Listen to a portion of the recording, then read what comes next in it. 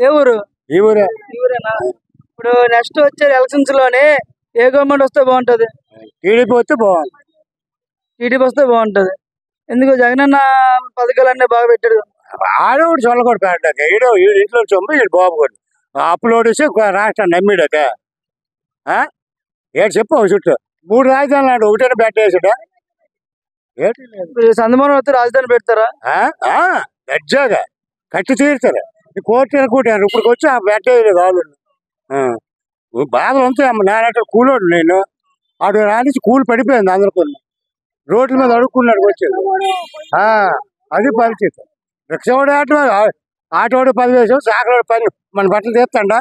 ఆడే పదివేలు. ఆడికి ఎందుకంటే ఈకలు గీసుకుని గడ్డ గీసుకున్నాడు ఆడే పదివేలు. ఇంత కష్టపడినాడు రూపాయి లేదు.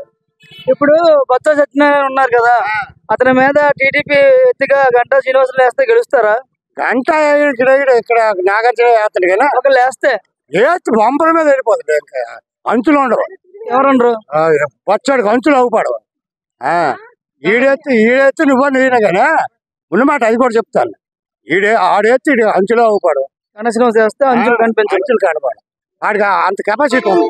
ఎవరికండి? గంట వాడికి ఈడు దొంగ ఈడు నాయకులనే కొంటాడు కదా. పెదలకు వాడికి ఇవ్వడు కదా. ఆ, అది. పెదలకు ఇక ఇప్పుడు మీ చెప్పిన ఉద్దేశం ఏంటంటే టీడీపీ వస్తే అంతా కూలోళ్ళు పేదోళ్ళు అందరూ బాగుంటారు. ఓకే. అండి మీ పేరేం పేరు? శంకర్ రావు. నెక్స్ట్ రాబోయే రెండు నెలల ఎలక్షన్లో ఏ గవర్నమెంట్ వస్తే బాగుంటది? వైఎస్ఆర్ వస్తారు దేనికన్నా? పథకాలు ఇస్తున్నారు పథకాలన్నీ మీకు బాగా అందుతున్నాయని వైఎస్ఆర్ వస్తే బాగుంటుంది. నెక్స్ట్ చంద్రబాబు వస్తే మీ పాలన బాగుంటుందో? బాగోదు? మరి ఆ విషయం అయితే నాకు తెలియదు ఈ బొత్స సత్యనారాయణ గారు ఉన్నారు కదండి ఎమ్మెల్యే కింద. అతని మీద పోటీ చేయడానికి టీడీపీ క్యాండిడేట్ ఏమైనా వస్తే గెలగలరా? కష్టం. ఎవరి మీద అండి భక్తి సత్యనారాయణ.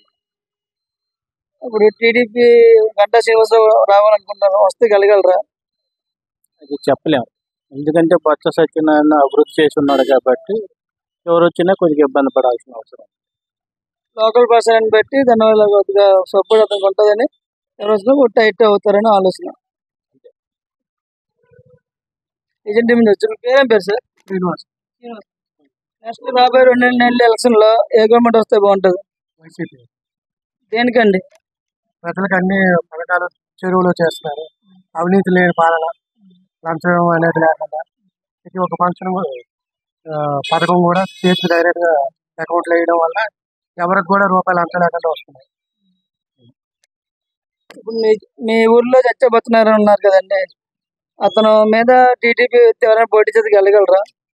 జ్వరం లేదు దేనికండి? అది లెజెండ్ లెజెండ్ నాయకుడు. లెజెండ్ నాయకత్వం లోకల్ పర్సన్.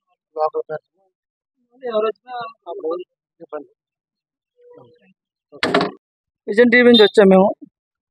నెక్స్ట్ రాబోయే ఎలక్షన్లో ఏ గవర్నమెంట్ వస్తే బాగుంటది? మళ్ళీ వైఎస్ఆర్ వస్తుంది అండి వైఎస్ఆర్ వస్తుంది మళ్ళీ. దేనివల్ల? అన్ని బాగా చేస్తాను కాబట్టి. నెక్స్ట్ అంతకు ముందు గవర్నమెంట్ బాగా చేయలేదా? వాళ్ళు బాగానే చేశారు. ఇది అన్ని అన్ని ఇస్తున్నాడు కదా నిన్న. అన్ని బాగా టైర్లకి వెళ్ళి బాగున్నాయి కదా. అన్ని వస్తాయి వస్తున్నాయి. టీడీపీ జనసేన పొత్తుగా ఉంది కదా. గవర్నమెంట్ వస్తుందేమో అనే జనాల దృష్టిలో ఉంది. కానీ కష్టమే అది. కష్టమే రావడం కష్టమే. కష్టమే. మళ్ళీ వస్తుంది. కానీ బాగా చేశారు కదా. థ్యాంక్స్